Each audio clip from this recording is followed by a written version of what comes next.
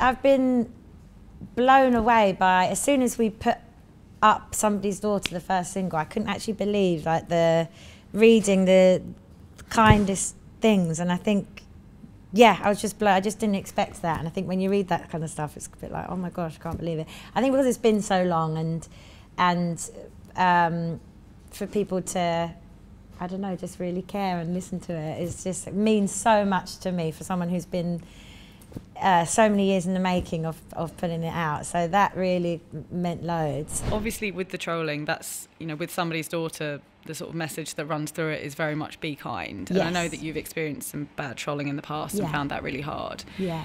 How do you kind of feel now that affects people in the industry? Because obviously, there have been some stories. We spoke about how you be you're quite good at dealing with it, but we've there have been some awful stories Caroline Flack, for example, who I know was a friend of yours.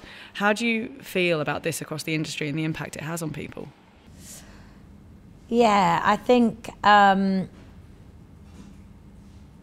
I think the most thing, yeah, it's just to make people aware that um, it putting kind of negativity out there, it's never gonna be never going to be a good thing. And I, I just hope that, like I said, the song to is about reminding people to spread love and kindness. It doesn't just affect people in the public eye. Obviously, people in the public eye get it a lot, but it happens to people across the board in all all walks of life.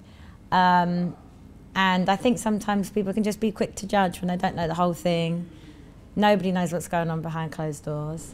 Was Caroline in the back of your mind when you wrote that song? Um, obviously she, she had to deal with some really tough stuff, um, which I don't think anyone should have to go through at all. Um, and yeah, having, I've, like I said, I've kind of had those experiences myself, but she had to, to go through some real, real tough stuff. And yeah, it was not nice. Because you got quite close when you were on Strictly together, didn't you? Yeah, yeah, yeah. She was amazing, and and she, um, you know, when I think of Caroline, she brought so much joy, and I was on Strictly the year when she won Strictly, and I saw her being the lead in Chicago when she was Roxie Hart, and she loved being on stage and show business, and she just brought so much joy. Um, yeah. So that was awful what she had to go through.